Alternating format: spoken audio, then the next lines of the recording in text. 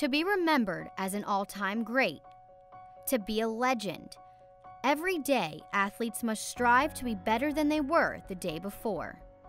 Florida State's history is filled with athletes who did just that.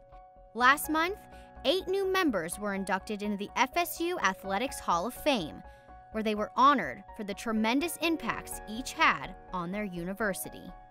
It's an opportunity for us to recognize not just former athletes, but, but people who have dedicated their lives to this university. These athletes came from all walks of life, but now there's one thing that will bond them forever the legacy and tradition that comes with being a member of the Hall of Fame. And every day when our current athletes walk in to continue their work, they literally walk by those who've been there before them. And I think it reminds them if you give your best, maybe you too could have your name etched in stone. One such athlete continues to give back to the university today, working alongside Gene Deckerhoff each week on football game day radio broadcasts. William Floyd, also known as Bar None.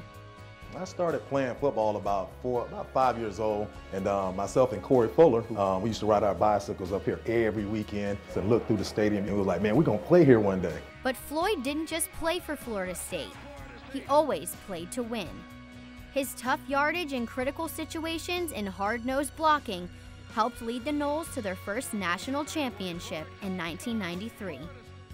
He left a legacy of being a tough football player, and he was a wonderful young man to coach.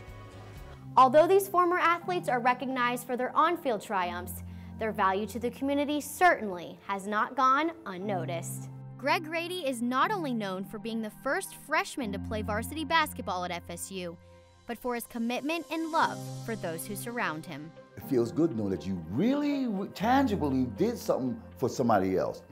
And that was my trophy. So even if I didn't go to the Hall of Fame, I still was somebody else's Hall of Fame in their heart, their soul, and their mind. Grady played for some of the most successful teams in FSU history as one of the school's best inside players from 1973 to 1976. After being recruited by over 375 colleges and universities, Grady chose his favorite.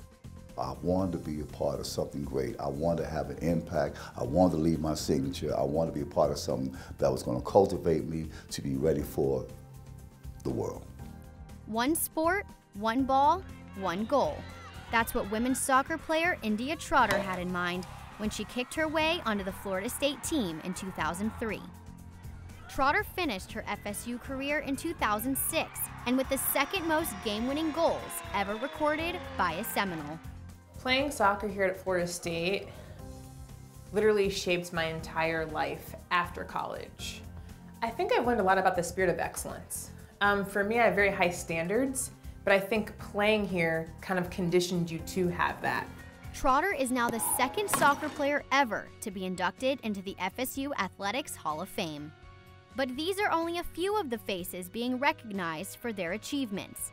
Also being inducted is track and field sprinter Teresa Bundy, track and field's triple jumper and 2008 Olympic athlete Rafeeq Curry, baseball standout Tony Thomas, former head basketball coaching great Pat Kennedy, and former basketball star and major Florida State ambassador Larry Strom.